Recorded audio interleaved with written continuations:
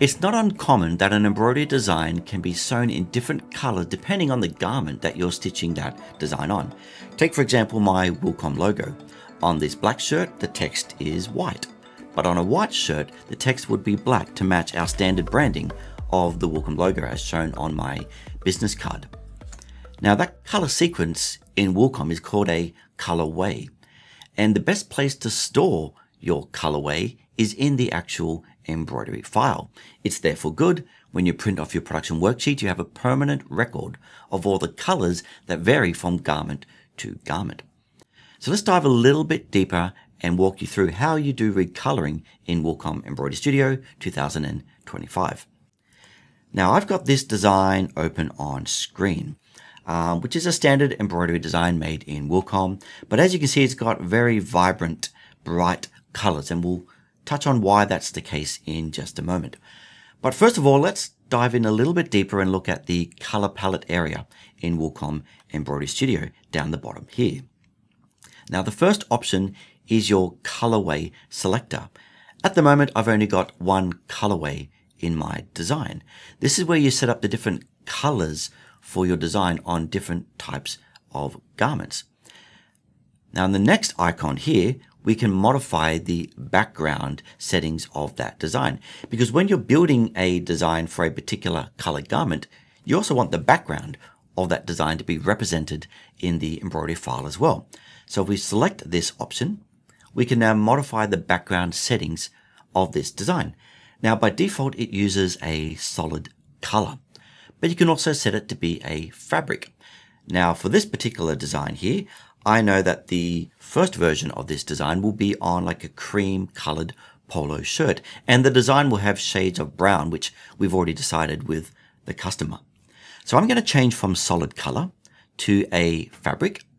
I'll keep it at the pure cotton fabric but I can select from any of the fabrics available in the Wilcom software and I will change the color and I'll use this uh, tan color that I've got here and when I click OK my background has now been updated to look like polycotton fabric with that cream tan color, which matches the polo shirt that I'll be putting that design on. Now the next section that we jump over here is this green square here, which is your current color icon. Now what this does is it represents whatever color you've got selected in the color palette. At the moment I've got color number one selected.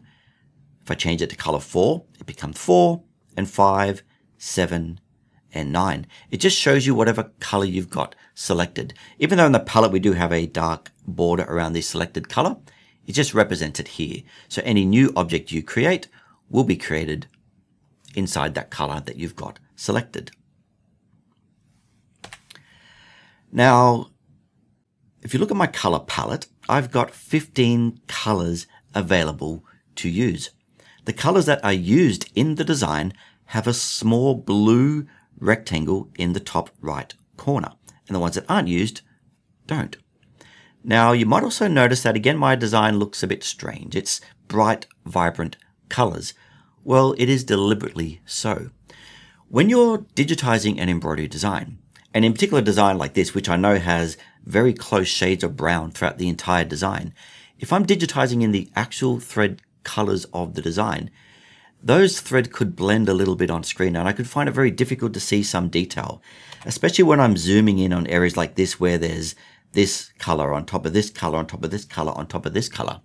If they're all shades of similar brown like I know this design is, it's difficult to see.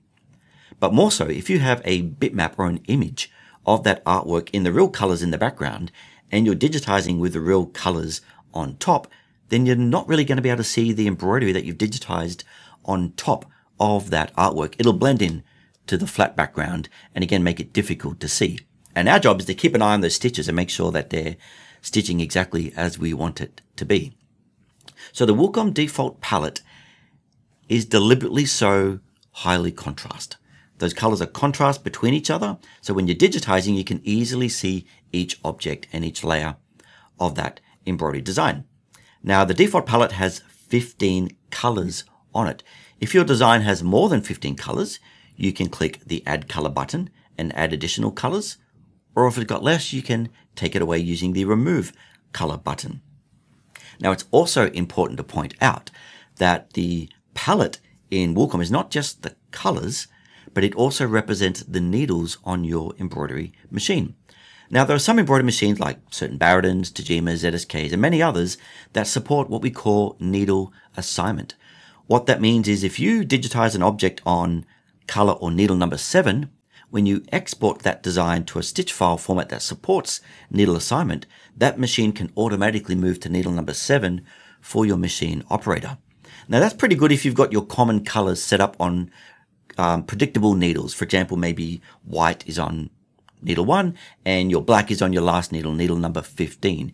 If you set up your color palette to have that and you select those, that's just one extra choice your machine operator, operator does not have to do when they're setting up that design on the machine. It can potentially remove the risk of error and choosing the wrong needle for that particular color. But of course, you don't need to do that. You can just use the default palette and reassign them when you load that design on the machine. Now, here I've got my standard design with these high contrast colors, which is great for digitizing, not so great for keeping a record of what my customer wants to have stitched out on the machine. So again, I've got my first color palette configured. I can then add more colorways. And I can do that by adding the threads for my actual thread palette or my thread chart into that design. Now the final option over here is the threads docker. When you open the threads docker, you can see the thread chart that you've got set up for your Wilcom embroidery software. And before I set up my next colorway or the existing colorway, I need to make sure I've got the right thread chart selected. Now by default, you'll have the Wilcom thread chart set up in your software. Now at the moment, I've got the pink color selected and you might notice it's automatically sorted the palette to show the pink style colors at the top. If I choose green, it will auto sort the palette to show the green at the top and the blue and the red and so on and so forth. So it will automatically sort your thread chart to the closest color you've got selected in your palette below. But let's get rid of the Wilcom default palette and let's choose your palette that you want to use in your business. To do that, you select on the Manage Threads icon. And I've got the default Wilcom selected, so we'll get rid of that. And I'll scroll down and find the Madeira Classic 40, which is a chart that I use. And we'll grab that there and add that. You can add more, but obviously the more charts you add, the more thread you have listed in your palette.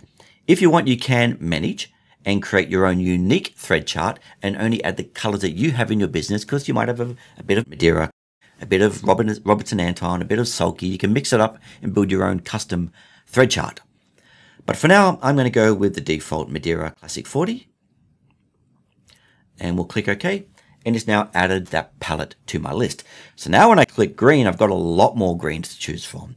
And a lot more blues and a lot more red and a lot more of every other color in my palette. And again, it will automatically sort that chart and put the matching colors to the top.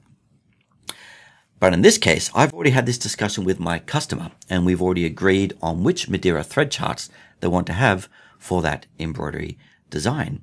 So if you know the code of the thread that you want to add to your design, you can manually choose those threads from that thread chart. First of all, select the color you want to add it to. In this case, the color number one, which is this background. Up in the color code, enter the code you're looking for. In this case, it's Madeira 1022 it will automatically search and find it. And all you need to do is press enter. It will assign that color to that thread uh, stop or that needle stop. Now we go to the second one. And I want to make that be uh, 1192. And then we'll go to the third one. And I want that to be uh, 1173. So now I've got those correct shades of brown. And if you remember earlier, when I mentioned about having those close shades, if I come in here and turn off True View, they're starting to blend. It'll be really difficult to digitize and see those stitches clearly. That's why I digitize in those contrast colors and you swap out with the real colors when you're finished doing your design. So I've made that first color setup. If I go now to my print preview,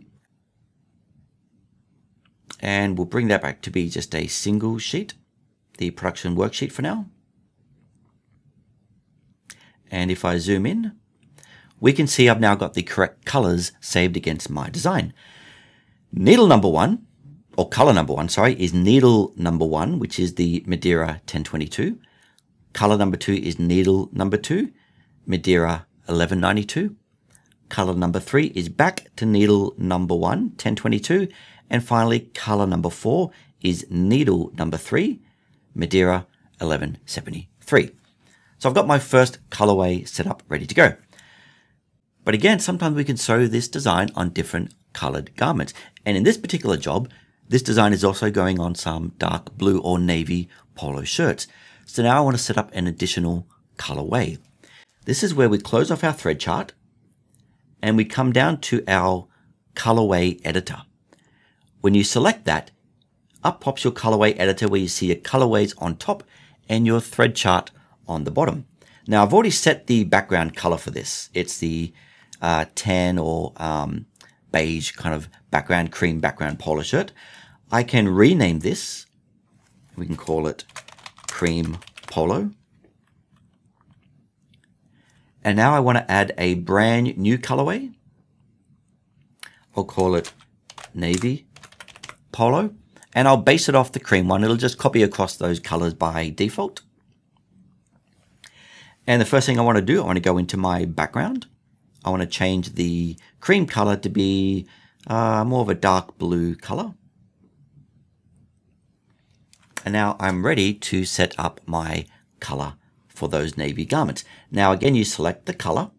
Now, if you don't know your colors, you can just scroll through and we'll find a kind of a lighter blue. We'll do this one here. Double click. And it goes down to the next one, which is a bit more of a darker blue. So we'll scroll down and find a dark blue color. Maybe this one here. And the final one is a bit of a mid-range blue. So uh, we might grab this one here. So if you don't know your colors, you can just manually scroll through, select those colors for that embroidery design. And if we go back to our print preview, we now have two worksheets, one for the cream polo shirt and one for the navy polo shirt. If you click under your options and turn on your production summary, and make sure under colorways you've got all selected, not just current or a particular one, select all and click OK. This will give you a summary sheet, very similar to what I showed in an earlier video that you can print out. It will show your logo and the colors for the cream and the colors for the navy arm polo shirt. So that's how easy it is to store your embroidered colors against your embroidered design. Now, the last and final very important thing you need to do, every time you make any changes to your embroidery design, you want to make sure you save that design as a Wilcom EMB file. If you export it only as a stitch file, you're going to lose all that valuable information. So make sure you save as as a Wilcom all-in-one EMB file and give it a name, designed with colors. And that way you will forever have all that color information stored against that embroidery design. Now let's open up another design. And we'll grab this Bernie's Organic uh, logo here. Now, sometimes when you build a design or when you're given a design from an outsource or a customer, it does have colors set against that design. In this case, it's got the green, the yellow, the orange, the white, darker green, and a few other shades. So they are visually correct colors, but they aren't matching real thread colors from a real thread chart. There might be PMS, it might be what the graphic designer created when they made that logo. But at least visually on screen, it looks correct. But in embroidery, we need the actual real thread chart for that design. Well, when you open up a design that has these generic colors already listed on it, there is a very quick way to automatically match those generic colors to a real color in your embroidery thread chart. And that's when you scroll down to this icon here, which is the match all icon. When you click on this, it will automatically match every single color in that design to a real color from your selected embroidery thread chart. Again, I've got Madeira. So it now says that green is actually a Madeira 1051 and the orange is a 1064 and the copper is a 1065 and so on. It's matched every single one of those colors, which again will appear on the production worksheet for my operator to stitch out on the embroidery machine.